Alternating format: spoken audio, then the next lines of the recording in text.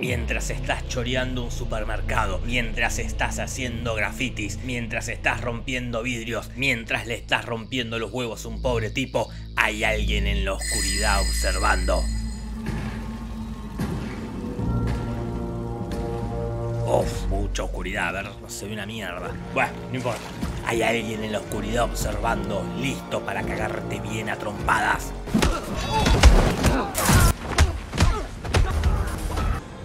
Por eso hoy en Te lo resumo sino más. El Batman.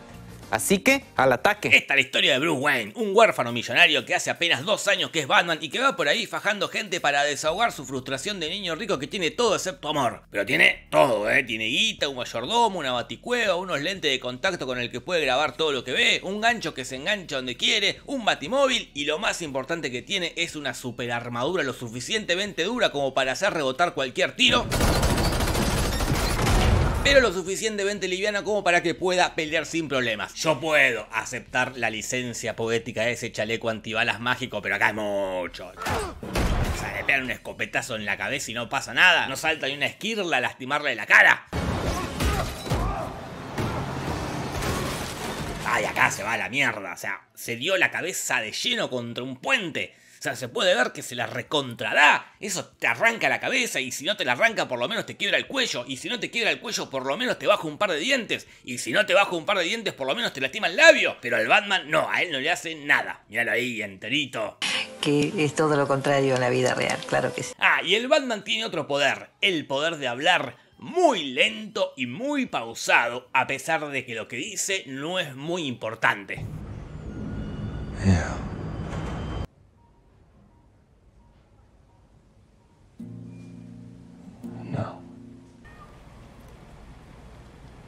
You got a lot of cats. Tanta pausa para decir tenés muchos gatos, el rey del suspenso. Un actor fantástico. No, no, no, es un actor fantástico. Robert Pattinson, no se dejen llevar por estas escenas. Si no me creen, miren Good Time y El Faro. Ahí el amigo Robert Pattinson la rompe. Robert Pattinson es un gran actor. El sexy.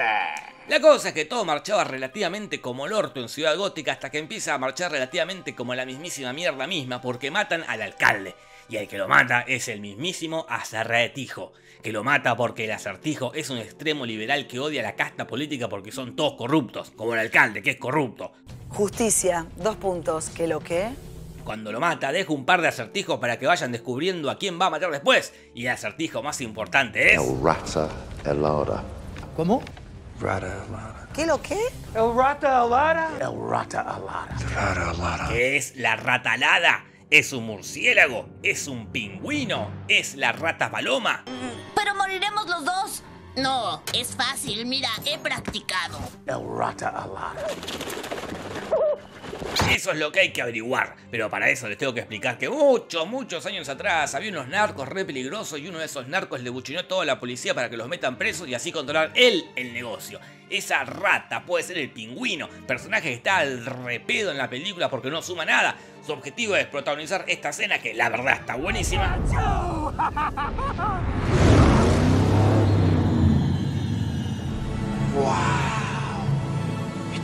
que un salvapantallas de Windows. y anunciar la serie que van a hacer, sus únicos objetivos en la película. Esta escena es interesante porque supuestamente Batman tiene la filosofía de no matar gente, pero acá seguro que murieron muchos y es responsabilidad de Batman porque a él se le ocurrió perseguir al pingüino en medio de la calle lleno de gente. ¡Asesino de mierda! ¡Asesino! Otro que puede ser la rata alada es John Turturro.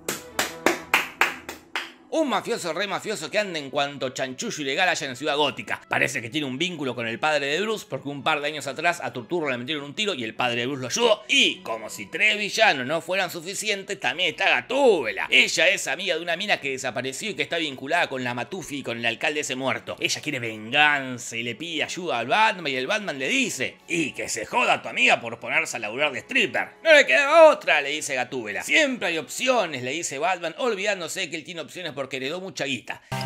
¿Cómo la están pasando? Espero que la estén pasando bien y si la están pasando bien les voy a pedir que le peguen una suscribida al canal y una me gusteada y una compartida y una comentada y que me sigan en Twitter que tengo Twitter y en Instagram que tengo Instagram. Y por hacer todo eso les regalo un consejo de Virginia Lagos. Disfruten de la vida, que es una aventura extraordinaria. Como diría Vinicius de Moraes. El acertijo sigue matando políticos corruptos, como este fiscal corrupto que le pone una bomba en el cogote y le dice, si decís quién es la rata alada, te dejo vivir. El rata alara. Y el fiscal corrupto dice, ni en pedo, si llego a decir quién es la rata alada me matan igual. Así que la bomba explota, y el Batman otra vez es salvado por su armadura mágica. El siguiente corrupto en morir es Bruce Wayne. Why? Porque el padre también era corrupto, porque contrató al turturro para que mate a un periodista que estaba por develar un secreto familiar. Y como Batman heredó la fortuna de su padre, también heredó los quilombos y el acertijo le manda una bomba, pero que te cuento que el que la abre es Alfred. Y muere. Pero al rato nos enteramos que Alfred... Porque supongo que su ropa también es mágica. Él está unos días en coma hasta que finalmente se despierta.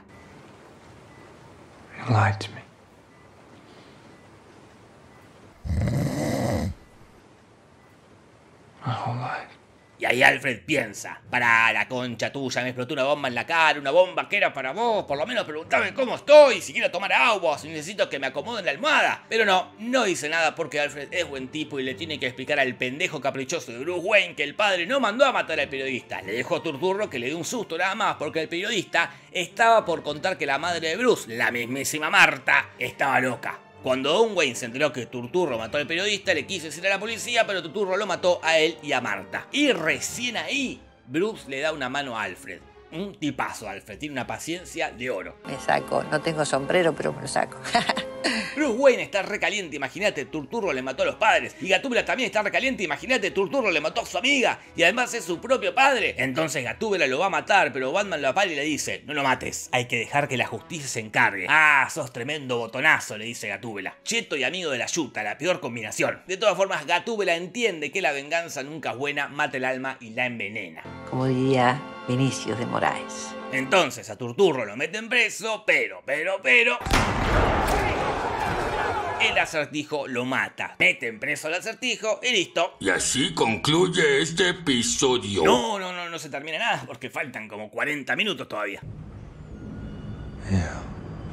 Parece que el acertijo también es huérfano como Batman, pero el acertijo le fue mal porque es pobre y al Batman le fue bien porque tiene guita. Por eso el acertijo se hizo malo y empezó a matar políticos. Y además es youtuber. Hola, buenas noches amigas y amigos. Bienvenido a la transmisión. Hay muchas personas que están preguntando cuál es la mejor manera para adelgazar. Saltar a la cuerda. Te ayuda bastante. Te ayuda muchísimo. Tiene una comunidad de seguidores con la que está organizando una revolución y esa comunidad está formada por nada más ni nada menos ni nada más que 500 followers. 500 nada más. No, no se puede organizar una revolución con 500 seguidores. O sea, si el acertijo hace eso con 500 seguidores, entonces Messi, que tiene 320 millones, puede conquistar el mundo. Bah, no importa. El acertijo está organizando una revolución, pero nadie sabe lo que va a hacer. El Batman se mete en la casa a investigar y justo agarra el arma con la que mató al alcalde. Y ahí justo hay un policía que justo tiene un tío que es colocador de alfombras y justo le dice a Batman que ese objeto es un colocador de alfombras. Entonces todo el plan va a estar dibujado abajo de la alfombra, piensa Batman y cagate de risa. Todo el plan está dibujado abajo de la alfombra. Está perfecto justificado todo, encima. Igual medio tarde porque empiezan a explotar bombas por toda ciudad gótica, se empieza a inundar todo y los seguidores del acertijo se van a matar a la nueva alcaldesa. Porque a pesar de ser pocos, se suman todos, demostrando que no importa la cantidad de seguidores, importa la calidad. Como diría Vinicius de Moraes. Batman se va para allá a tener la super batalla final. El Batman contra el fandom del acertijo.